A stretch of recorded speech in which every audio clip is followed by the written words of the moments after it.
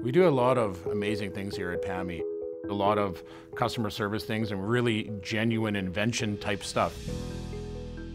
We service a lot of industries. We specialize in agriculture, mining, and transportation.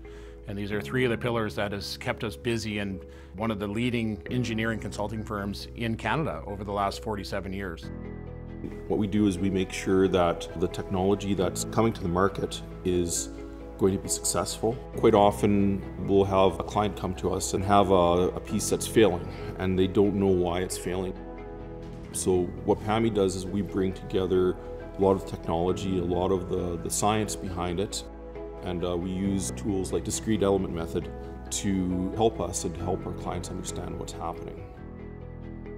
A part of what we want to do is always understand what our customers are looking for and put it in terms of a scope. What are their primary needs? What are their drivers for coming to us either for their engineering or testing needs? And then develop a process that will help them in terms of the schedule and the outputs they're looking for for their own end needs. It's one of those things that I really enjoy is seeing a company that has an idea, being able to take that and uh, develop it to the point where they're ready to release it and be commercially viable. So it's, it's awesome to see that kind of an aspect and that progression from an idea and concept all the way through to release to public. PAMI provides a spark for clients that helps build momentum, helps get their products growing and develop something that's going to build their company.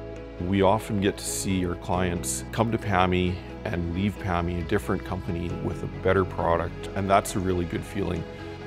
Going forward, we think that we can provide not only things that are within our community, but also globally. And we are definitely a leader in that from having a very successful and very educated team. They create some very, very ideal solutions for very specific things. And, you know, there is some secrecy around PAMI and, you know, the local area here in Humboldt. But I think uh, for the most part, they will see over time the conclusion of a lot of those tests and customers that we work with.